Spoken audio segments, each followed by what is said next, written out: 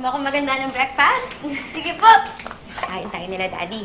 May sabay Ang tayo, okay? itlog, pag hindi nalilimliman, nabubulok. Ang pechay, pag hindi nadidiligan, nalalanta. Alam mo, anak, pag hindi mo yan binigay sa kanya, hahanapin niya yan sa iba. Maniwala ka. Alam mo, mabuti pa. Makipaghiwalay ka na lang.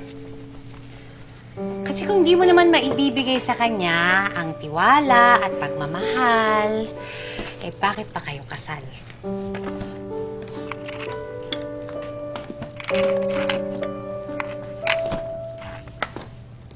Dahil kay Ino. Dahil hindi niya magiging buhay ang naging buhay ko. Hindi sa lalaking hindi buhay yung pamilya niya. Hindi sa lalaking nagtatanong kung sa bang dahilan kung bakit nawasak ang pamilya niya.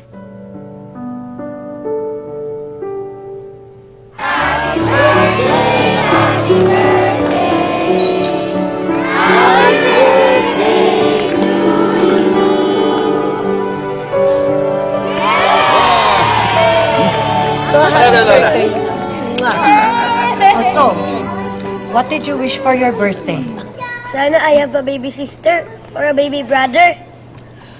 Oh, Narinig niyo yan, ha? bigay niya yung gusto niya. Hey! Oh, come everybody, let's go Okay, kain na na, kain na na. Isit, isit.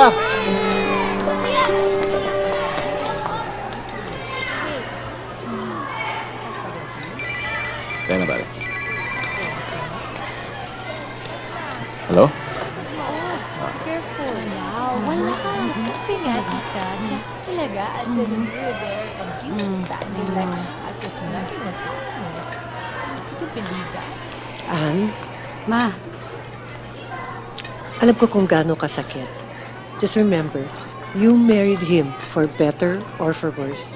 And right now, my son is at his worst. He hurt you not because he didn't love you, but because he's weak. And when our men are weak, we have to be stronger.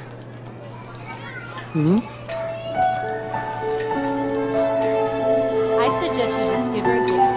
A pricey gift. Yeah. Mami. Oh, excuse me. Oh, no, no, you should eat first. Anak! Di ba sabi ko sa'yo yung chicken? sa'yo yan. Thanks. Opo! Opo ka dito.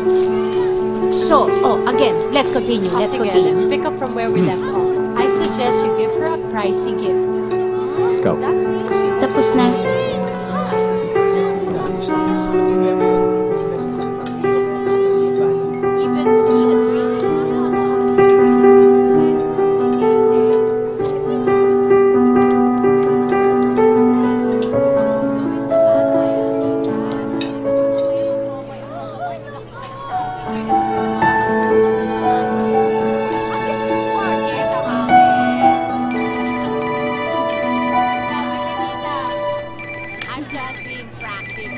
Kanina pa yung boss mo ah. Birthday na birthday ng anak ko, tumatawag. Alright. Sadista yan, bro. Ayos na. Hello?